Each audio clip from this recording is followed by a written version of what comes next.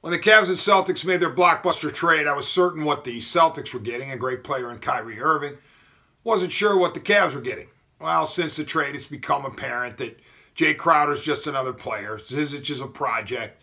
The draft picks, including the key Brooklyn pick, not sure what's going to come of that. And then there's Isaiah Thomas.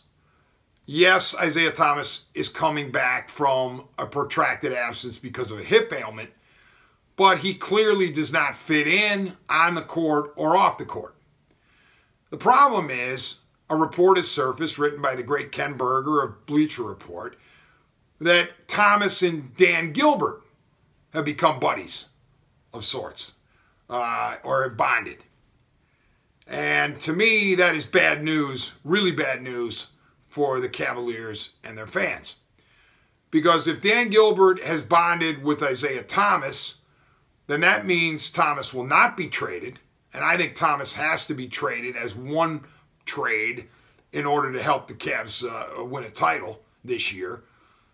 But if he sticks around, that means Gilbert presumably is going to build around him uh, in the next phase of the Cavaliers.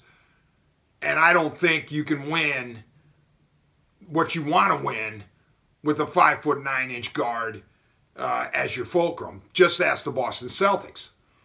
But worst of all, I don't see how Isaiah Thomas and LeBron James are teammates beyond this season.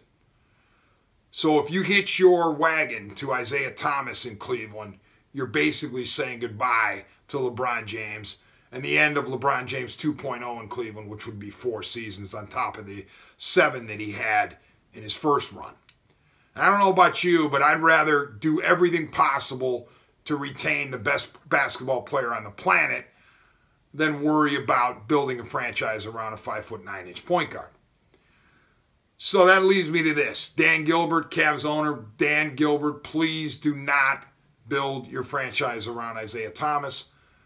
Trade him and continue to do everything possible to keep LeBron James in a Cavaliers uniform.